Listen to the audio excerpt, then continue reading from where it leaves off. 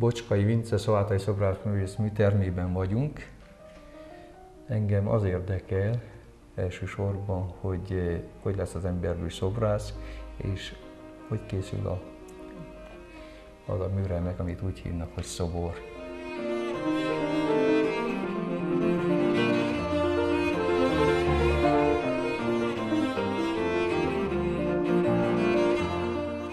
Vince, jó rajzoló gyermek voltál? Nem voltam jó rajzoló gyermek. Olyan rajzokat készítettem, mint az átlag. Tehát egészen negyedik osztályos, negyedik osztályos koromig egyáltalán nem lehetett sejteni, hogy belőlem valamikor képzőművész lesz. Negyedik osztályos koromban kezdtem észrevenni, hogy az osztályunkban a falakon vannak rajzok, képek, különféle ilyen ábrázolások. És úgy ösztönösen órák alatt, matematika órás, ilyen-olyan órákon elkezdtem másolni ezeket a képeket, de abszolút spontánul. De úgy, hogy nekem a rajzaim feltűnően kiváltak volna abban az időben a többiek közül, nem lehetett ilyesmiről szó.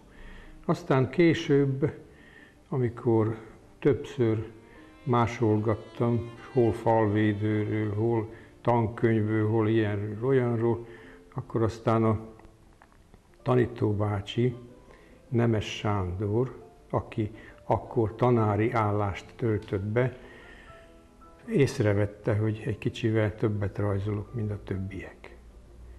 Így aztán ösztönzőleg hatott, ő is jól rajzolt különben, és biztatott, hogy rajzoljak. De most már ne képekről, hanem a valóságból. Így kezdtem el rajzolni, hatodik osztályos korom után aztán azt javasolta ez a Nemes Sándor tanítóbácsi, hogy menjek be a művészeti iskolába.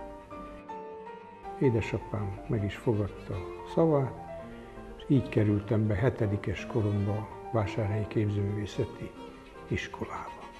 Aztán időközben átléptem a liceumi kategóriába, és ott aztán 9. osztály után kezdődött az, hogy külön választották, hogy ki milyen szakra alkalmas. Én akkor sem szobrászatra akartam menni, de olyan szobrász tanárom volt akkor, mint Hunyadi László, aki olyan ösztönzőleg hatott, és annyira megszerettette velem ezt a pályát, hogy aztán én a grafika helyett a szobrászatot választottam. Tudni illik, a grafikát szerettem volna azelőtt választani. De aztán tizedik osztálytól szobrászatra mentem, és attól kezdve ebben a bűnben taposok mai napig is. Én valamiért azt hiszem, hogy ha az korán eldőhet, hogy valakit nagyon érdekel a művészet is, és próbálkozik is arra a pályára eljutni, de rajz és festés és grafika valahol ebben mozog elsősorban. Számomra olyan furcsa és ismeretlen az a rész, hogy hogy is kezdődik az a mintázás. Egyáltalán abban a korszakban talán még óvodába sem plasztelineztek, tehát a formázás az, az, az valahol nagyon későn jön, jöhetett az életedbe szerintem neked is, és későn dőhetett el, hogy arra felé neked olyan képességeid vannak, ami, ami érdemesít tesz arra, hogy próbálkozzál szobrászati pályán.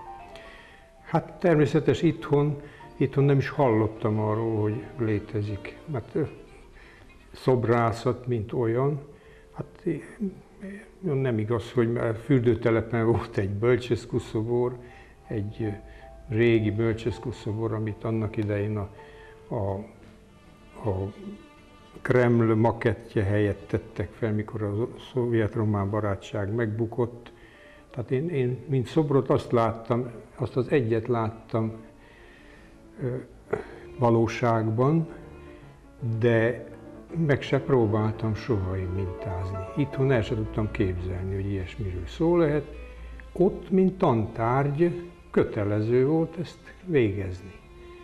És aztán, ahogy mondtam az előbb, Hunyadi aztán úgy hatott rám, el, elsősorban mint tanár, és nem utolsó sorban, mint művész, mint alkotó művész, és látván a szobrait, kedvet kaptam rá. Persze nem voltam én különösképpen szobrász alkat, nem is, abszolút nem is voltam az élvonalban az osztályban a kormintázásból, hanem aztán nagy erőfeszítések során, hogy érdekelt a dolog, sok munkával felfejlesztettem magam annyira, hogy aztán már abból is érettségiztem. Tehát természet után mintáztunk, élő modell után, portrét, kompozíciókat, emberi alakokat, megtanultuk a mesterséget. Azon a fokon, nyilván, középiskolás fokon. Hogy aztán legyen mire építeni, mert tudnélik a művészetet nem lehet megtanítani, a mesterséget viszont igen, ha van fogékonysága az illetőnek. Viszont ha a mesterséget nem tudja valaki, akkor nem lehet művész, mert nincs mire építeni. A művészet az kell jöjjön, az embernek be benne kell legyen a csirája. Aztán ez a csira vagy elhal, olyan formában, hogy nincs meg a szorgalma, nincs meg az ambíciója az embernek, vagy pedig kifejlődik. Így voltam én is, aztán, hogy annyira érdekelt, és sokszor még éjszaka is dolgoztam, ott a műteremben, a kultúrpalotában volt a műtermünk, az már egy felemelő dolog volt, hogy abban a gyönyörű palotában dolgozhattunk, nem csak szobrászatot, hanem ott rajzoltunk és festettünk is. Akkor mindent kellett még egész érettségig csinálni, csak egy kicsivel több szobrászati óránk volt. És akkor én már szobrászatból érettségiztem, szakmai tekintetben. Előbb említetted a csirát, hogy ott kell legyen a művészet csirája az ember, és csak akkor lehet majd egy hosszú út végén művész belőle. A körülményekre nem térték, mekkora szerepe van a körülményeknek. Gondolok arra, hogy megfelelő emberrel találkozni, megfelelő azogatásnak is kitéve, egyáltalán valaki felhívja a figyelmet, vagy meglátja, vagy bizalmat szavaz a majdani művésznek. Igen, na ez, ez jó kérdés, mert akkor egy kicsit vissza kell kanyarodjak oda, ahonnan elindultunk a beszélgetés elején. Tudnélik, negyedikes koromban, 1959-ben Husztos Endrének volt egy kiállítás a szobátán, a tanácsteremben, akkor gyűlésterem, most is azt tulajdonképpen. Ott volt egy kiállítása, és én ezt megnéztem. Hát az olyan ösztönzőleg hatott, hogy aztán attól kezdve tudtam, hogy van képzőművészet. És akkor kezdtem rajzolni. Na most, ez, az, ez a kiindító pont. Persze a Nemes Sándort már említettem az iskolában, de aztán nagyon sokat számít, hogy az embernek milyen osztálytársai, milyen iskolatársai vannak, kik veszik körül. Akkor az egész Székelyföldnek csak Marosvásárhelyen volt iskola. Úgy megszelektálták, úgy megválogatták, akiket oda felvettek, hogy ott olyan, hogy te, kimondott tehetségtelen ember nem juthatott be. Tehát nagyon megszűrték az embereket, és azok, akik oda bejutottak, azok mindig, mind tudatosan ezt csinálták. Nem volt tekergés, nem volt olyan ö, semmit tevés, akik kerülték volna ennek az iskolának a tevékenységi körét. Tehát mindenki a legnagyobb odaadással, főleg a szakmai téren dolgozott. Esténként vázlatoztunk a hálóba, ha lementünk a bentlakásba, ott egymásnak modellt álltunk, vázlatoztunk, krokiztunk, úgy hívják ezt a vázlatot, és egy percet nem hagytunk ki. Na, ez hatott rám olyan értelemben, hogy meghatározta, hogy mi, milyen ember legyek. Tehát én meg vagyok győződve, hogy anélkül az iskola és a bentlakás nélkül nem is, lettem, nem is lehettem volna olyan ember, amilyen vagyok. Tehát jó értelemben véve.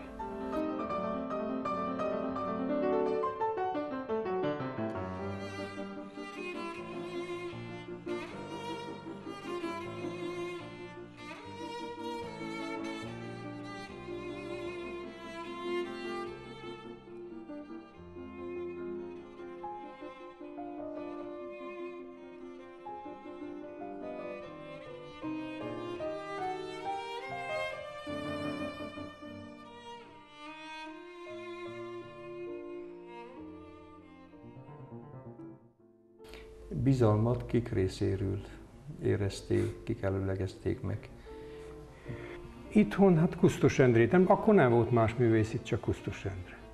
Itt egyedül ő volt, aki Hát, akkor... Gondolom nagyon befolyásoló lehet a, szület, a szülők bizalma is, akik, Jaj, hát az- akik hisznek hát- a gyermekükben. Azt már úgy az, az elején mondtam, hogy édesapám belátta, rájött, hogy ő, ő nem szabad megvonni ezt tőlem, és ő anyagilag is támogatott az iskola tekintetében, úgyhogy szülői te szempontból semmi gond nem akadt arra, hogy, hogy ne tudjak haladni ezen a vonalon.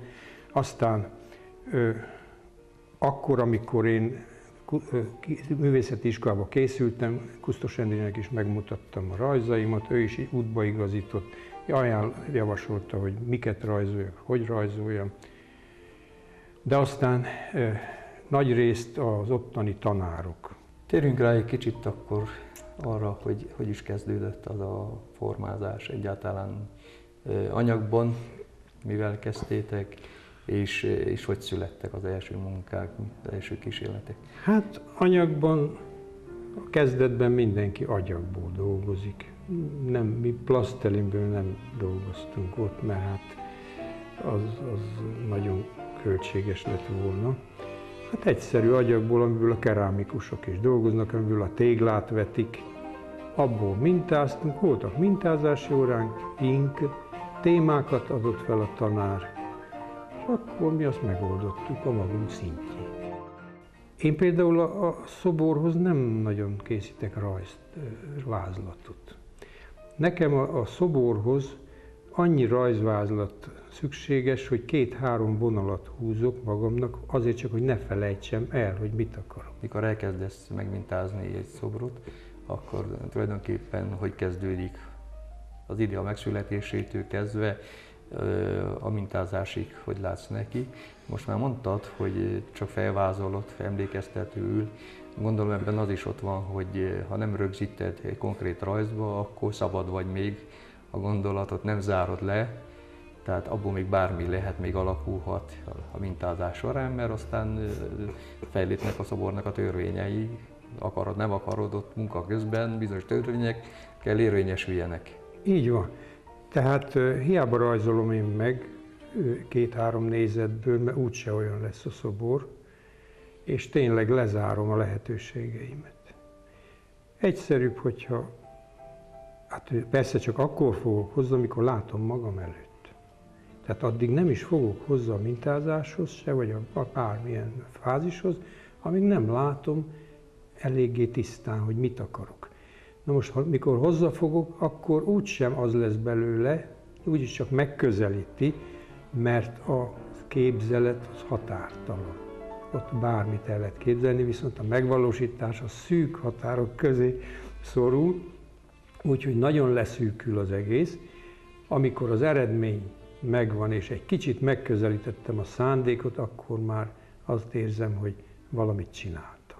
Tehát úgyse lesz soha olyan, mint amit elképzeltem, tehát olyan színvonalú se lesz, és olyan kifejező se lesz. Miért vonz téged az emberben a groteszk? Azért, mert benne van az emberben. Hát a, minden emberben van valami groteszk. Na most az emberek olyanok, hogy hát egy nagyon eh, eklatáns példa, hogy most már a hölgyek ne sértődjenek meg, általában eh, egy, egy hölgynek sem tetszik a, a, a személyazonossági igazolványba készült képe. Mindig azt mondják, hogy az nem sikerült. Mert ő más akarna lenni, más szeretne lenni. Tehát ő sosincs megelégedve azzal, ahogy kinéz, tehát a fényképezőgép, ha véletlenül jól veszi fel, akkor azzal sincs megelégedve. Na most ezt azért mondom, mert az emberekben mélyen ott van az igazi énjük. És ez, ha jól megfigyeled, az látszik. Tehát az embereknek nagy része színész. Próbál megjátszani, aztán nagy része belesül a szerepbe. Engem ez érdekel, hogy mi van mélyen. ezt próbálom én, ugyan itt van egy pár példa erre a izére, erre a mm, témára, itt ha a polcon megnézed, és akkor ezt próbálom én az embereknek a mélyéről felszínre hozni. Azt, amit ők, amit ők nem szeretnének megmutatni magukból.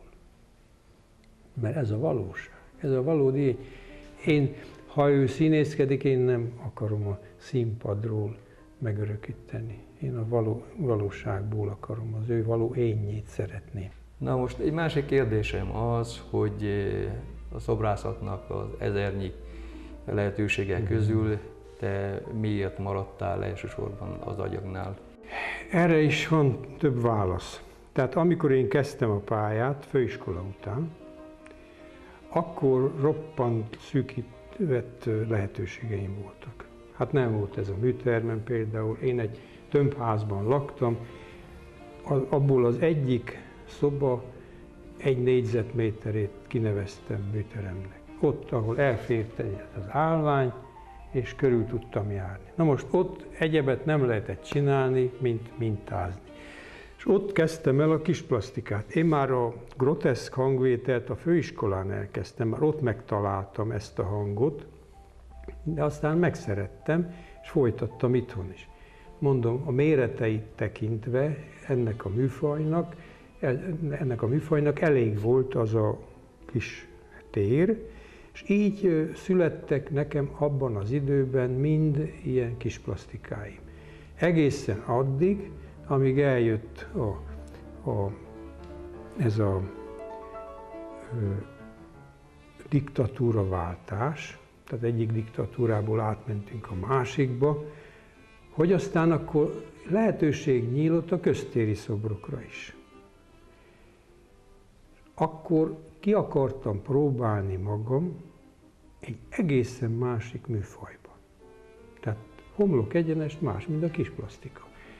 Szándékát tekintve is más, méretét tekintve is más. A kis plastika nem azért kicsi, mert, mert kicsi a mondani valója, hanem azért kicsi, mert arányaiban nem nagy térbe készül. De kis plastikával is lehet nagy horderejű dolgot mondani, és nagy térszoborral is lehet kis fajsúlyú dolgot mondani. Tehát én láttam már 5 méteres nippet is köztereken, de láttam 10 centiméteres monumentális szobrot is az Egyiptomi Múzeum kis plastikára úgy gondolunk, hogy elsősorban ilyen emberközeli, emberhez közel levő szobor, ami egy lakásnak egy, egy zúgában, egy polcon is helyet foglalhat, sőt elsősorban ott van a helye neki, és ezért egy bensőségesebb világ közelebb álló, és eh, semmiképpen nem festív, Persze. pátosz nélküli. Persze. A, a köztéri szobroknál pedig van egyfajta elvárás, egyfajta monumentalitás utáni igény, és hordozom valami, valami olyan is, ami elképzelhetetlen a kis plastikánál. Ami, ami közérdekű, ami a közre vonatkozik. Hát természetes, hogy a, a köztéri szobor az mondani valójában is tágabb értelmű kell legyen, tehát sok több olyan mondani valója kell legyen, ami egy köztérre való, és az arányaiban pedig, ha nem monumentális, akkor nip lesz. Tehát olyan lesz, mint a porcelán nippek, amiket egy csipkére rátesznek, csak ott ki van a köztér. Tehát ha arányaiban nem monumentális, nem csak, nem csak témájában, hanem arányaiban. Amikor elkészül a szobor, olyan arányokat kell kölcsönözni neki, hogy az a köztéren is nagy legyen. Ne csak a mérete legyen nagy, hanem nagynak kell hasson. Mert olyan nagy szobor is van, ami kicsinek. Hát például a, a, a budapesti hősök terén volt a Stalin szobor, az egy nip volt, 8 méteres méret. De az pont, ha lefényképezted volna, és kivetted volna a környezetéből, az egy nip. Lehetett volna egy csipkére rátenni. Tehát a monumentalitás az egyrészt a arányok kérdése, másrészt pedig a mondani való kérdése. A kis plastikára szerintem jellemző az, hogy különösebb tervezés nélkül szinte bármelyik lakás egy, egy íróasztal sarkára, egy pósztra feltehető, nem kell az adott környezetbe tervezni. Köztéri szobornál ez elképzelhetetlen. Persze. Hát a kis plastika, mivel hogy kis teret igényel, bárhol egy akkora teret, ha kapsz, akkor az oda elhelyezhető. Persze azért meg kell világítani, ugye, a plastikája ki kell domborodni. A köztéri szobornál pedig egy szigorú törvény, hogy, hogy amíg nem ismered, hogy hova kell készüljön, addig hozzá se foghatsz. Tehát ha nem tudod, hogy mekkora, kell, mekkora a tér, amibe készül, mibe kell beleíródjon a szobor, addig nincs, hogy elkezdeni. Mert a méret is azt sugalja, hogy milyen arányokat alkalmazol. Egy két méteres szobornak teljesen más arányrendszert kell kölcsönözni, mint egy öt méteres szobornak. Itt torzításokról van szó. Tehát egy köztéri szobor mindig a legtöbb esetben alulról néznek az emberek, mert nagy. Ha csak nem fekvő szobor.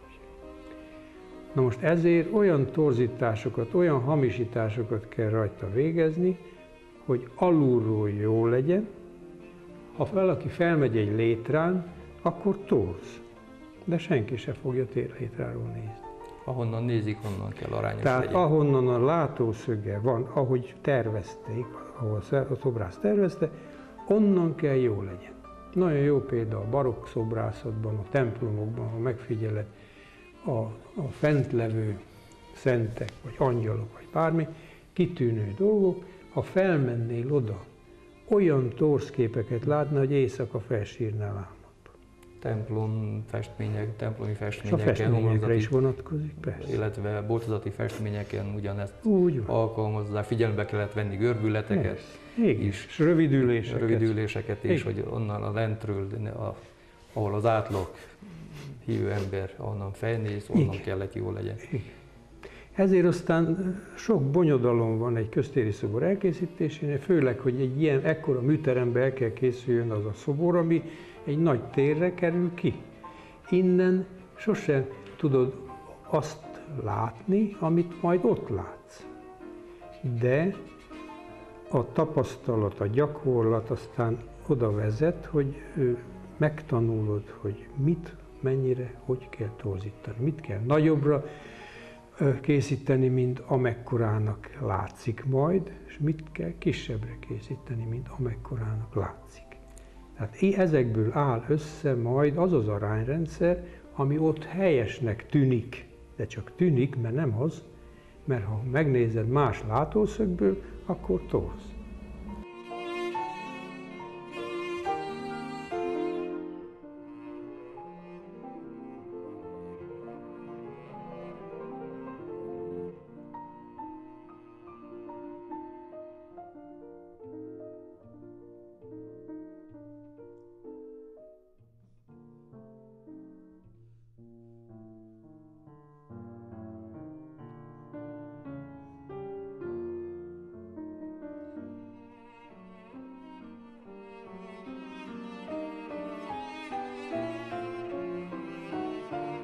Egy köztéri szóval elbírná a groteszket?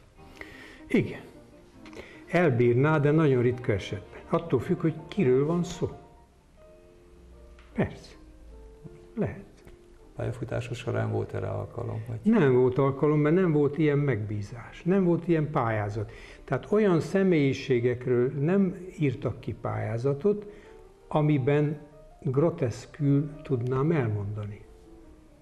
Én el tudnám mondani, tudnék példát is mondani, hogy kit, vagy ha személyiségről van szó, vagy pedig ha nem személyiséghez kötött dolog, akkor is el lehet képzelni köztéri szobrot groteszk hangvételben. De mondom, eddig, amilyen megbízásokat vagy pályázatokat megnyertem, azoknak a személyisége, akiről szólt a szobor, azok nem olyanok voltak, hogy, hogy a groteszk elfért volna bennük.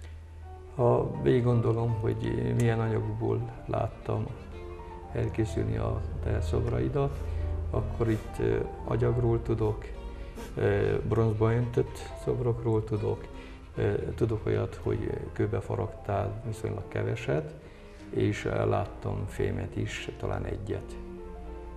A fa teljesen kimaradt? Kimaradt egyelőre. Nem azt jelenti, hogy nem szeretem. Például a diplomunkámat fába faragtam, főiskolán. De a következő miatt maradt ki a, a elsősorban a faragás. Mivel, hogy én nem tudtam szabadúszóként kezdeni ezt a pályát. Annak idején szabadúszóként nem tudtam volna megélni, főleg a családomat nem tudtam volna eltartani. Ezért a, a faragás mindig időigényesebb. Persze megvan a külön szépsége is. De annyira időigényes, hogy nem tudtam volna időben azokat az ötleteket elkészíteni a faragás műfajában, akár kő legyen, akár fa, amiket így kis plastikában gyorsabb eljárással elkészítettem. Na most ez, ez mai napig is tart, mert még mindig tanítok, még mindig az időmnek a legértékesebb részét elrabolja a szolgálat. Tehát egyelőre ez most így van. Nem azt mondom, hogy én nem fogok faragni.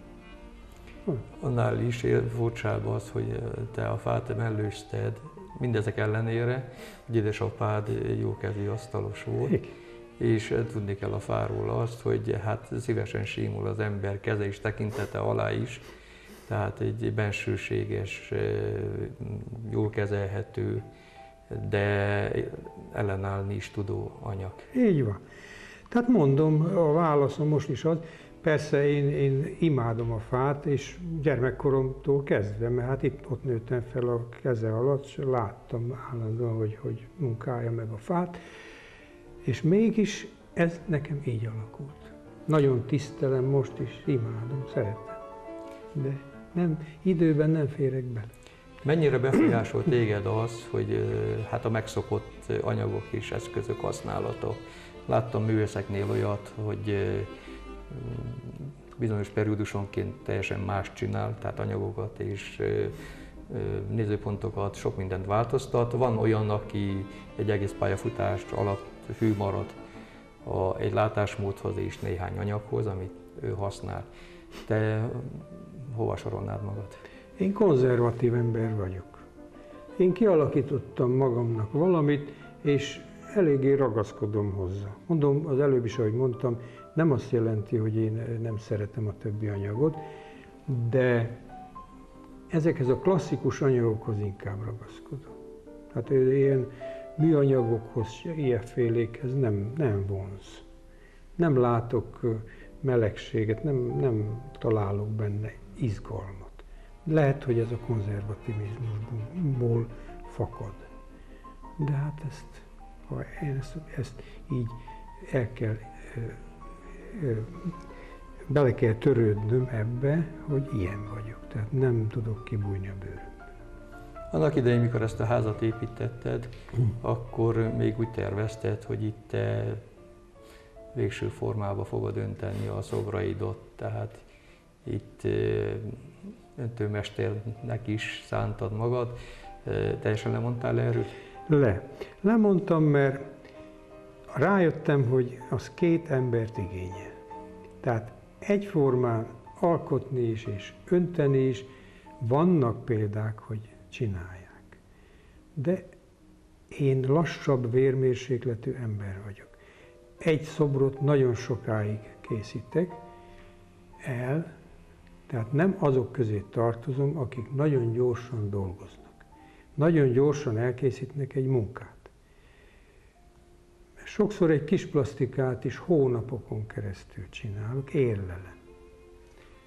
Aztán egy nagy köztéri szobrot egy évig is készítek.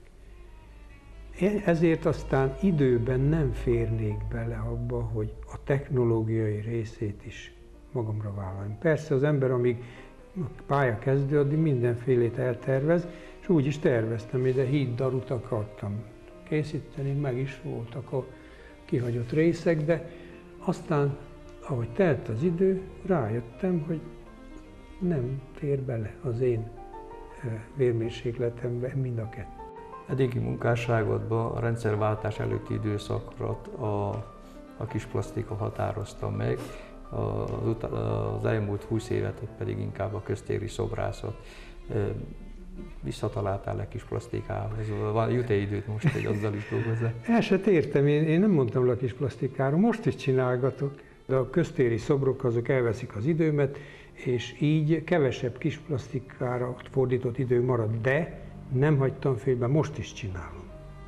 Most is kész, készülőben van egy kis plastikám, úgyhogy csinálom azt is. És nagy szeretettel. Várod egy nyugdíjazásodat, hogy teljes idődet tud a, a szobrászatnak szentelni? Ez, ez nem is kifejezés, hogy hogy várom. Mások nem várják, mert akkor tudják, hogy öregesz, öregszenek, de én azt is vállalom, hogy öregszem, csak már egyszer nyugdíjba mehetnék, hogy az egész napomat itt töltsem el. A napom értékes részét az iskolában töltöm el. És nem tudom, hogy használok-e annyit az iskolában, mint amennyit veszítek itt. Köszönöm, hogy elmondtad nekünk.